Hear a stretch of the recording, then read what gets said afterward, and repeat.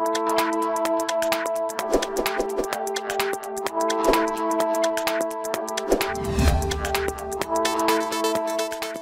externar minha gratidão ao Eterno Deus por essa oportunidade e também bem dizer ao Eterno pela vida dos nossos presidentes e pela confiança da nossa diretoria.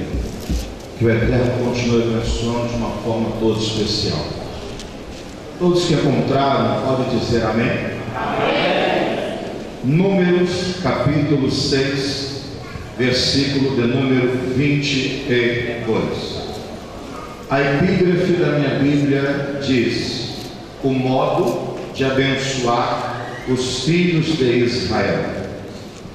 E falou o Senhor a Moisés, dizendo: Fala a Arão e a seus filhos, dizendo: Assim abençoareis os filhos de Israel, dizendo-lhes: O Senhor te abençoe e te guarde.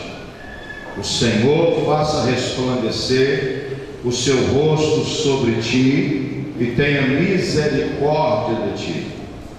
O Senhor sobre ti levante o seu rosto e te dê a paz. Assim porão o meu nome sobre os filhos de Israel e eu os abençoarei. Aqueles que têm o seu assento, pode tomá-lo por gentileza. Bendito seja o Senhor. Amados, para esta noite, eu quero verbalizar a palavra do Senhor, subordinado a este tema, a bênção araônica. A bênção araônica. Se puderam perceber, desde o versículo 22, diz a Bíblia que foi o Senhor foi o Eterno que falou a Moisés. Moisés tinha a incumbência de transmitir a ordem do Eterno para o sumo sacerdote Arão e os seus filhos, como devia abençoar a nação de Israel. Haja vista que nós estamos no Ocidente tão acostumados com o termo bênção, que nós falamos, Deus te abençoe, Deus te abençoe, Deus te abençoe. Aí fica aquela indagação: Deus te abençoe em quê? Deus te abençoe para quê? Deus te abençoe aonde? Qual é a bênção que você quer sobre a sua vida? Às vezes você faz um favor para alguém, alguém diz: Deus te abençoe alguém vai lá e te abençoa em alguma situação, Deus te abençoe. Porém, o termo abençoar aqui é muito mais profundo do que simplesmente verbalizar bênção, bênção, bênção. Automaticamente, quando eu falo que o Senhor te abençoe, eu estou declarando que Abraão segundo a língua hebraica, quer dizer bênção, as brahot, as bênçãos do eterno, elas têm uma finalidade. Qual? Todas as bênçãos que são proferidas pela boca de um judeu, seja ortodoxo, seja messiânico, seja por um estudante da Torá, do Neviim, do Ketuvim, que é a divisão bíblica do Antigo Testamento, que é a lei, os escritos e os profetas, sempre vai ter este início. Bendito é o Senhor, nosso Deus, Rei do universo. Sempre vai começar assim. Quando o Eterno disse para Moshe que deveria abençoar o povo desta forma, ele está falando toda a bênção, toda a fonte toda a essência, tudo que precisa de bênção, de graça, de misericórdia, de unção, só pode vir de uma pessoa. E esta pessoa não é da terra, esta pessoa habita no lugar inacessível, onde um dia nós iremos entrar num corpo glorificado, pronto para viver na eternidade. Então, quando eu digo o Senhor te abençoe, eu estou declarando, eterno, eu reconheço que tu és a fonte de toda a bênção da humanidade. Isto é colocar o eterno em primeiro lugar. Isto é dar a continência para quem merece. Isto é você colocar a mão na boca e reconhecer: se eu falo, é porque ele existe. Se eu prego, é porque ele existe. Se eu canto, é porque ele existe. Se eu falo em línguas, é porque ele existe. Se eu sou salvo, é porque ele existe. Se eu estou aqui, é porque ele existe. Se eu respiro, é porque ele existe. Se eu sou abençoado, é porque ele existe. Se existe céu, terra e mar, é porque ele existe. Se tem milagre, é porque ele existe. Se é fiel, é porque ele existe. Se tem porta aberta, é porque ele existe. Oh, glória! Mas nós temos a dificuldade. Nós temos essa dificuldade de quando nós entramos na presença dele. Uai, pastor Ronaldo, desde quando eu cheguei que eu entrei na presença do Senhor. Andar na presença é uma coisa, estar na presença é outra coisa, viver na presença é totalmente diferente. Tem gente que anda na presença porque Deus é onipresente, está em todos os lugares. Tem gente que entra na presença só quando quer milagre, quando quer resposta, quando as coisas estão indo ruim no ministério, no seu trabalho, lá no seu igreja, congregação. Agora, estar na presença é para quem reconhece que Ele é provedor, que Ele é Senhor. Porque tem gente que entra na presença porque tem interesse, tem gente que entra na presença porque quer um sinal, tem gente que entra na presença eu preciso de uma resposta, mas quando tem alguém que vive na presença, é diferente. Está chovendo, bendito seja o nome dele. Está calor, bendito seja o nome dele. Ah, alguém está enfermo, bendito seja o nome dele. Aconteceu um milagre, bendito seja o nome dele. A porta abriu, bendito seja o nome dele. Alguém foi desempregado, bendito seja o nome. Que é isso, mas bendito? A Bíblia diz, a Bíblia diz em 1 Tessalonicenses 5, 17, 18: orai sem cessar e dai graças a Ele por tudo. Por tudo.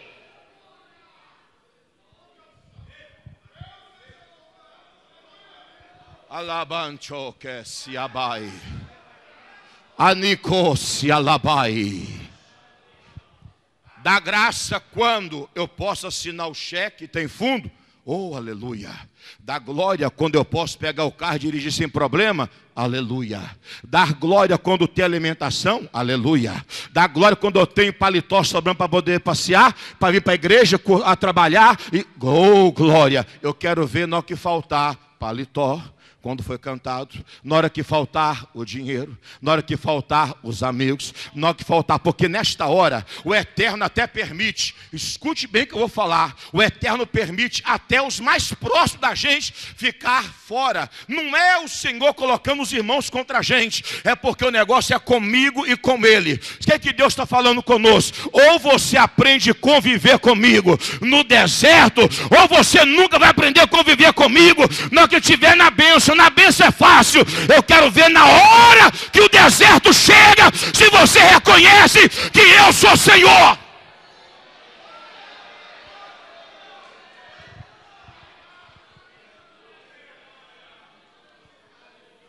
É aí nesta hora que a gente lembra de quem? Jó. Lembra de Jó. Jó não conhecia o eterno de ver, ele conhecia de ou, ou, ouvir. Você já conhece Deus, já viu milagre na tua vida? Já viu Deus libertar alguém? Já viu alguém levantar e andar? Jó só conhecia de ouvir, era tradição Isso é de pai para filho na cultura. E segundo a história, segundo a canonicidade dos livros, segundo a história bíblica, o livro de Jó está bem perto da época do patriarca Abraão o pai de uma grande multidão, está bem próximo naquela área. E ele só sabia ouvir tradição oral. Passava-se para o filho, passava para a descendência o que sabia. Gente, só de ele ouvir, o homem levantava de madrugada, fazia o local segundo o número de seus filhos. Só dele ouvir, abençoava os órfãos. Só dele ouvir, ele colocava a mão na boca para poder falar. Só de ouvir, só de ouvir, ele abençoava até os estrangeiros. Só de ouvir quem é o eterno. E quando tudo acontece, a briga está lá no mundo espiritual. Na terra tem alguém, aleluia, esperando a resposta. Todo mundo chega trazendo notícia ruim. Aleluia, aqui que está. Quando eu estou abençoado, quando eu estou debaixo da bênção do eterno. Aleluia tudo que acontece eu sei, Ele está no controle. Diz a Bíblia Sagrada que chega todo mundo, Jó pega-se tudo bem, é tudo, morreu os dez filhos, perdeu tudo. Jó vai pecar. Você pensa que Satanás não estava lá esperando o um momento para ver Jó pecar? Quando você também é provado, você pensa que Satanás não está esperando ver, o, como vai fechar a história para ver se você vai pecar ou se você vai errar. Estava lá esperando, só que Jó rasga a roupa, Jó joga cinza na cabeça, vai pecar. Só que ele não conhecia Jó. Quem conhecia a Kavaná de Jó era só o eterno. Quem Kavaná é um termo em hebraico, quer dizer intenção do coração. Coração é leve então o Eterno sabia a Kavanalev de Ior. O Eterno sabia o que passava no coração de Jó. Então nisso Jó chega e entra e fala: Nu eu saí do ventre da minha mãe. Nu eu também voltarei. Deus, ele disse que o eterno deu e o eterno tomou. Aí assim, vai, vai brigar, vai espraguejar. Bendito seja o Senhor. Sabe o que que Jó está falando em hebraico? Baru atar Adonai. Bendito é o meu Deus Criador. Isto coloca Satanás para correr. Quem conhece a bênção do Senhor, na hora da prova é o momento. Pode provar, eu sei. Pode provar, eu sei o que está acontecendo. Alguém está querendo saber se eu sou fiel. Alguém está querendo saber. Não é o meu eterno Deus, que Ele conhece o meu coração. Ele conhece o seu coração. Mas tem alguém que está querendo te provar. Ver se você serve, ver se você adora. Ou se tem só título de cristão. Pastor Ronaldo, como que eu vou provar? Você não tem que provar para mim. Se na tua cavanata assim, da glória, você já sabe o que tem que fazer. Da aleluia, você já sabe o que tem que fazer. Se levantar a mão, você já sabe sabe o que tem que fazer. Se você entende que a bênção do eterno está sobre a tua vida, então levante a sua mão e dê glória para Ele neste lugar. A Bíblia Sagrada diz: Fala para Arão, vai abençoar assim. O Senhor te abençoe e te guarde. É assim que vai ter que abençoar meu povo. E é assim com a mão levantada. E você vai ficar com a mão assim para receber. O Senhor te abençoe e te guarde. Que é isso, pastor Ronaldo? Porque quando o Eterno mandou proferir, eu quero que você entenda, vou repetir Vou reforçar. Isto não brotou da boca de Arão. Esta benção veio do céu. Veio do trono. Fala para ele, Abraão, o Moisés, é assim, ó. Yevar errá. Adonai, veish mererá. Fala que sou eu. Sou eu que estou liberando. Sou eu que estou conectando.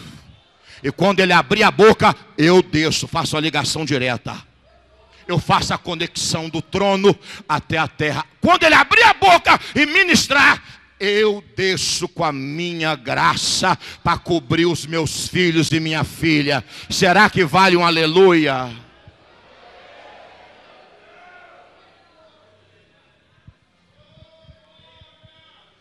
E te guardar aqui é a mesma coisa que ele falou com Abraão em Gênesis capítulo 15.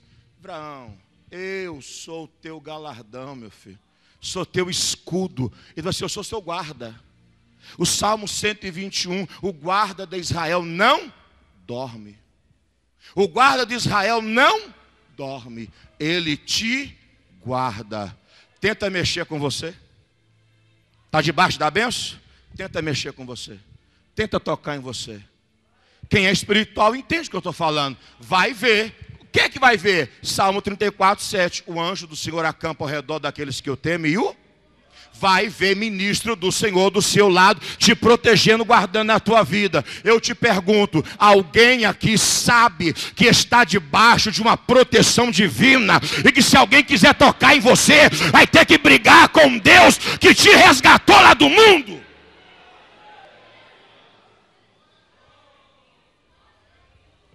O segundo ponto desta bênção maraônica o Senhor faça resplandecer.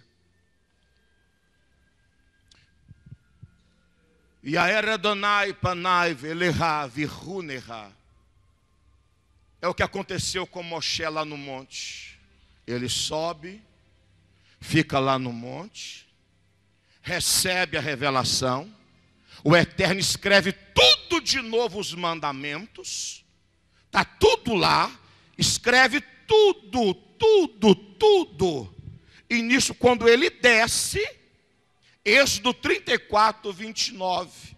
A seguir, nós temos tudo isso. Que ele descendo do monte, o rosto de Moisés, a face de Moisés, tudo que estava ali. Moisés então desce com o rosto brilhando. Sabe o que, que é isso? Você lembra do Éden? Adão sabia que hora que o Eterno estava chegando no Éden. Por que, que eles não percebiam que estavam nus? Porque o brilho da Shekinah, a presença, tapava isto. Guarda, a presença da Shekinah tapa a minha nudez e inibe de eu pecar. A falta da Shekinah me deixa vulnerável e me coloca para pecar. Alguém entendeu? Pergunta para esse irmão: a Shekinah está brilhando aí? A Shekinah está refletindo aí. Se não tem Shekinah, as vergonhas aparecem. Mas se tem Shekinah, só consigo enxergar o Criador. Se a Shekinah está sobre mim, eu sou sensível e sei que hora, quando que o Eterno está no jardim. Mas sem Shekinah, eu só sirvo para esconder, porque eu estou nu. Mas se tem Shekinah, eis-me aqui eterno, eu estou pronto para adorar. Alabanchou, Enequesébia.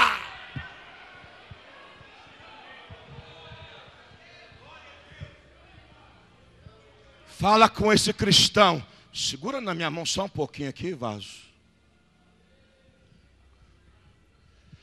Faça para esse, me faça a gentileza de olhar na minha face e ver se ainda brilha. Anamachandarábia. Alakaya sura candare mahai. Alakaya joy Alabantu Kiesia. A primeira coisa que brilha quando a Shekinah está é o nosso caráter de cristão. É a primeira coisa. Aonde chegamos, todo mundo sabe. Você é crente, não é? Bom, eu vou entender que eu estou entendendo. Você falou que é crente. Crente até os demônios são. Crente é quem acredita. Os demônios acreditam, mas não obedecem. Está na Bíblia. Tiago falou isso. Cristão é diferente.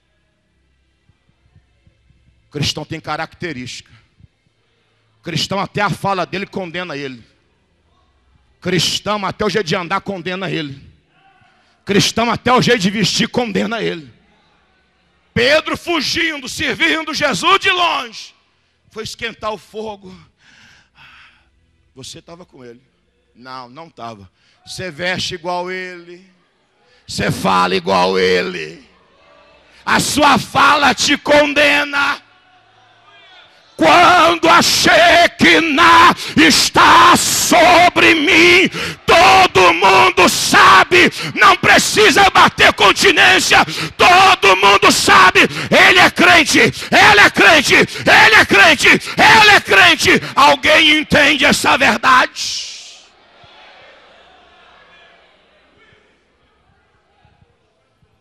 Colabai, Conaiacando Labaia Sébia.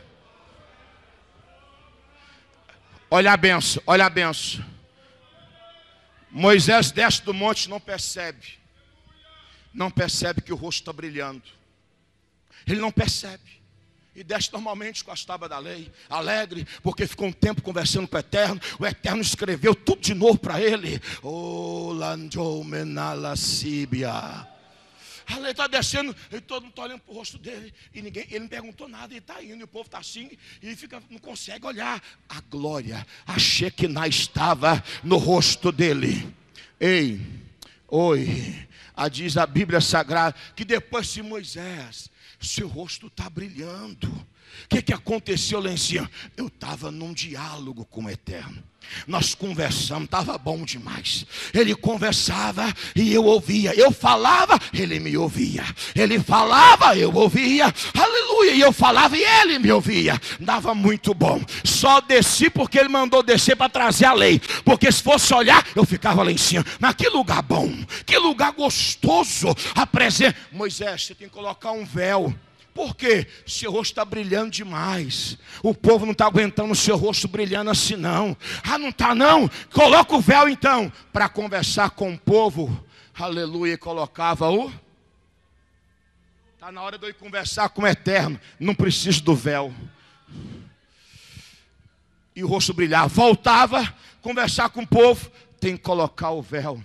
Claro que esse véu representa a parede o véu que impedia de chegar até onde estava a arca da aliança, a presença maior do eterno. É claro que represento, só que eu tenho que dar uma verdade para você nesta noite. Se você tem brilho da Shekinah na tua vida, aleluia, carnal não aguenta ficar perto de você. Alabanchora Bashandarabia. A prostituição, quando chegar incorporada em alguém, vai olhar, você está brilhando, eu vou embora.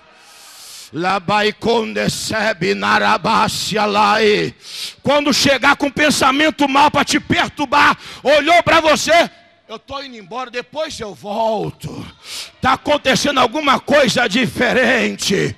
Oh meu Pai Celestial, Barua Terra Donai Eloheinu. Eu quero que você entenda. Hoje o Todo-Poderoso chama-nos.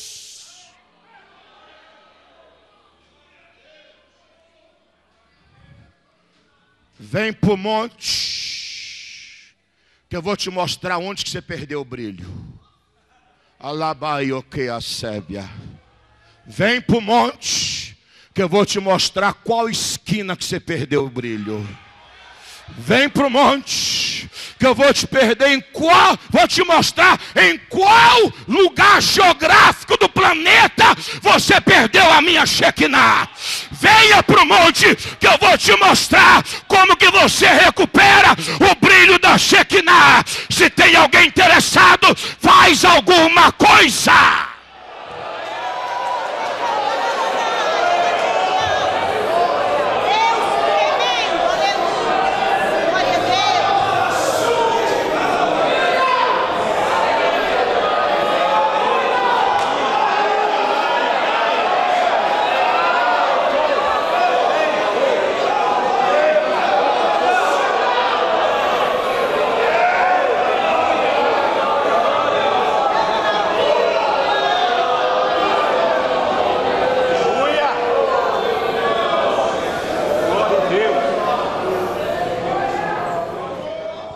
Bíblia diz que nós não devemos julgar ninguém para não ser julgado. A Bíblia diz, ensinamento de Yeshua Ramachia, Jesus o Messias. Não julgueis para não ser julgado.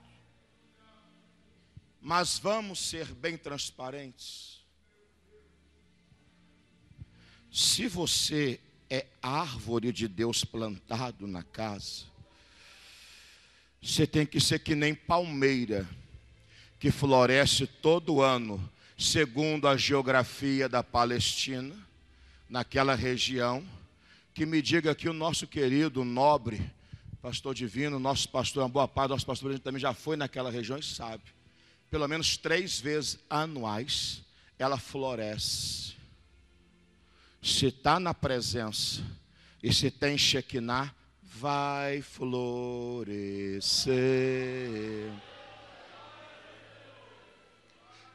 Vai ser que nem um cedro do Líbano. Porque o do Líbano, que ele é diferenciado. O cedro do Líbano, três anos, a raiz cresce um metro e meio. O caule só, só meio metro. Por quê? As raízes vão procurar os lençóis freáticos. Se plantou perto de rocha, cantou Davi, a raiz vai descendo, enquanto ela não fazer uma curva e abraçar a rocha, ela não para. Aí depois que ela faz, ela continua crescendo. Quem está na presença é que nem cedro do Líbano que cresce 40 metros de altura. Para aguentar a altura tem que ter profundidade, tem que ter raiz. Segura, porque agora que vem o Mocotó. O Eterno fala com a nossa igreja, comigo, com você. Se você quer crescer no ministério, se quer ter, alcançar as nuvens, tem que ter raiz. Tem que ter raiz. Tem gente que está crescendo, aleluia, que nem bolo de micro-onda. Vai lá, coloca os ovinhos, leite, bate, pronto, está pronto. De repente já acabou, está sem raiz, está sem alicerce, está sem rocha, está sem água, está sem base aí quer largar ministério, aí quer dividir ministério, aí quer perseguir alguém, aí quer batalhar contra alguém, quer fazer tudo de errado, porque está sem raiz e sem Shekinah.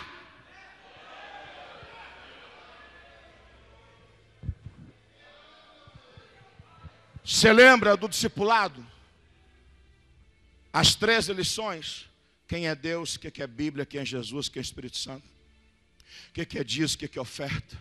Batismo com o Espírito Santo, batismo em água, céu, inferno, dons espirituais. Você lembra disso? Base. Tem um módulo 1 um e módulo 2. Base.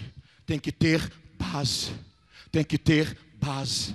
Tem que ter base. Tem que ter base. Tem que ter base. A primeira coisa que um oleiro faz do vaso é a base. O eterno está falando: eu vou abençoar. O Senhor te abençoe e te guarde. O Senhor faça resplandecer o rosto dele sobre ti e tenha misericórdia de ti. Misericórdia de ti. Há um hino que é cantado lá em Israel, Rahem, quer dizer misericórdia tem a recede, que é o amor do eterno também pela humanidade. E a Bíblia diz em Lamentações 3, 22 e 23: são as muitas misericórdias a causa de não sermos consumidos, e elas renovam cada manhã, cada manhã. Você está de pé? Misericórdia. Você consegue, dobre a atenção mais uma vez. Dobre a atenção mais uma vez. Se hoje o Eterno falar, Ronaldo, você vai subir, porque todo dia eu já estou pensando que no outro dia eu vou estar no céu, encontrar com o Eterno. Eu estou guardando Jesus agora.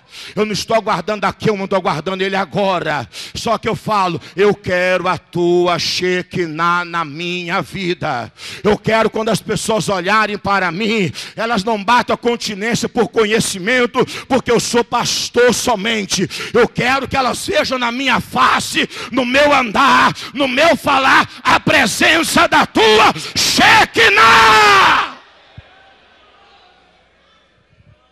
Mais uma vez, só tem uma forma dessa Shekinah resplandecer.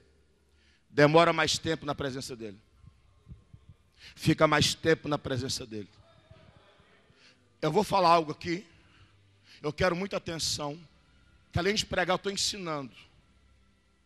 Preste atenção. A Bíblia Sagrada diz que Moshe ficou 40 dias no monte, sem comer e sem beber. Se não come e não bebe, não pode fazer necessidades também fisiológicas.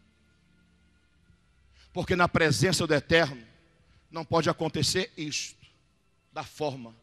Seis dias ele fica no monte. Seis dias. O que eu vou dizer aqui, eu vou dizer com muita propriedade, porque a minha companheira estava comigo na sala quando nós estávamos conversando sobre pregação, sobre igreja, sobre agenda, sobre trabalhos.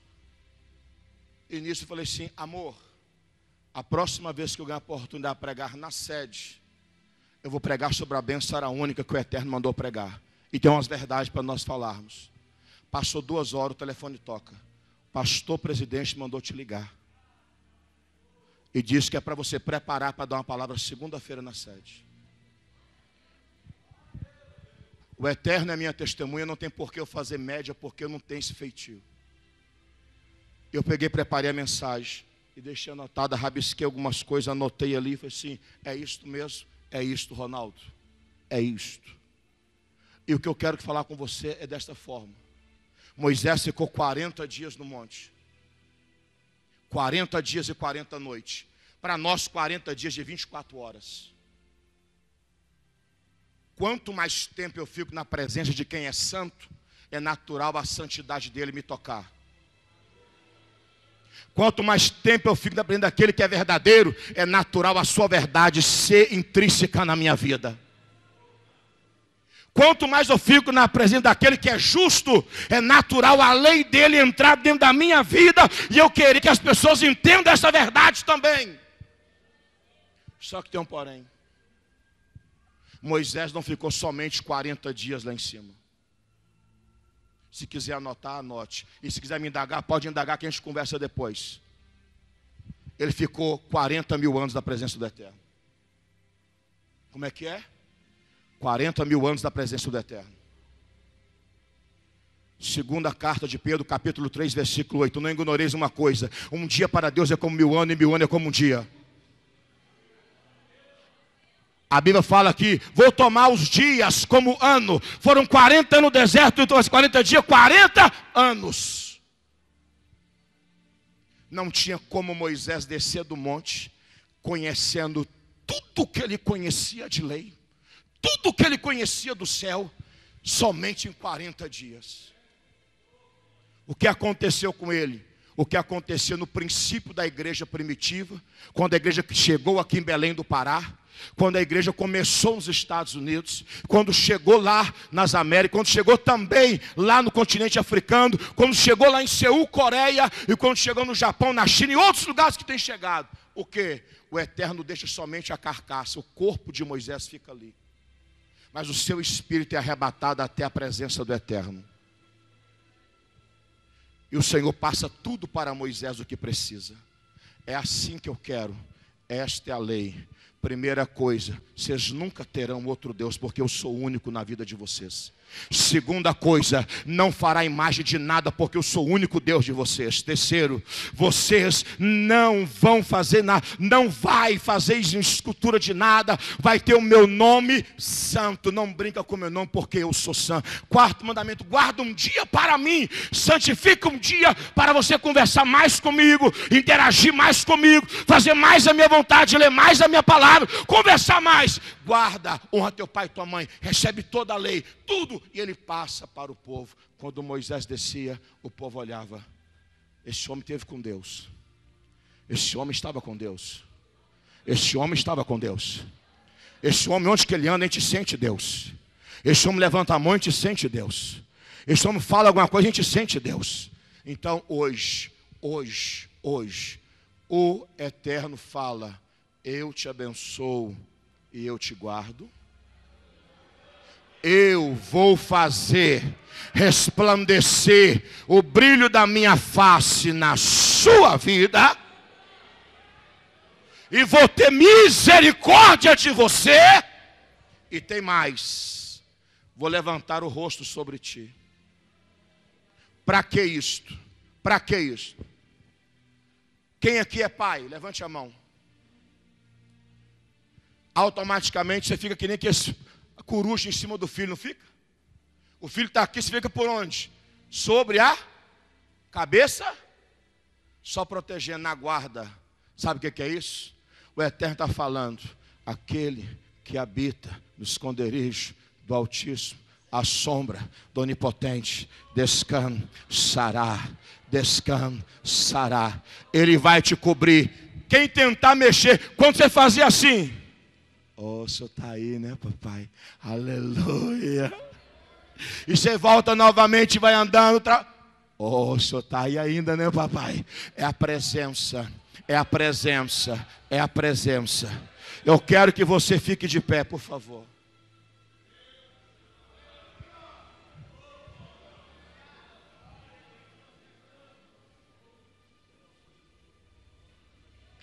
Anacaiacebe de calabácia. Pegue a sua mão assim. E por gentileza, faça o que eu estou fazendo, coloca assim. O que isso tem a ver? Isso é inovação? Não. Isso é para você reconhecer o seu limite abaixo da sua mão. Isso é você, homem. Isso é você, mulher. Isso é você. Ser limitado. O que isso tem a ver, Pastor Ronaldo? Quando você reconhece que é limitado, qual que é a atitude correta a fazer? Para debaixo da presença dele. Quem é autossuficiente, faz isso não. Quem é autossuficiente, fica fazendo outras coisas. E depois diz: Deus falou comigo. Como é que Deus fala com um camarada que fica todo dia assistindo só televisão, filme o tempo todo? Como que Deus fala com o camarada que fica só no Facebook o tempo todo? Como que o Eterno fala com o camarada aqui no altar, ele fica lá mexendo no WhatsApp, no telefone, conversando, mandando mensagem aqui em cima? Como é que depois ele quer que quando ele está pregando, ele quer que o povo dá glória e dê respeito a ele? Aí depois, assim, ah, mas tem que dar glória, levando crente ruim. Crente ruim não. Se quer que os homens façam alguma coisa, faça você primeiro. Então hoje o negócio aqui é dar glória. Se você dá glória, o que, que vai acontecer? Vai descer? Se dá aleluia, vai descer? Se reconhecer que Ele é Senhor, vai descer? O Senhor nesta noite está disposto a te abençoar. E a Bíblia Sagrada diz que teve um momento que Balaco falou: amaldiçoe esse povo para mim. Aí o profeta, não dá para amaldiçoar o que é eterno abençoa. Contra Israel está aqui. Não vale, ó, Números capítulo 23, versículo 22. Pois contra Jacó não vale encantamento, nem adivinhação contra Israel. Neste tempo se dirá de Jacó e de Israel: que coisas Deus tem feito alguém vai ter que falar. O que que Deus tem feito, hein? O que que Deus tem feito, hein? O que que Deus tem feito, né, pastor? O que que Deus tem feito, né, ministério? Vão ter que bater a mão na é. Não é que Deus abençoou mesmo? Não é que está abençoado mesmo? Então segure na mão desse cristão e fala: Vamos orar juntos agora.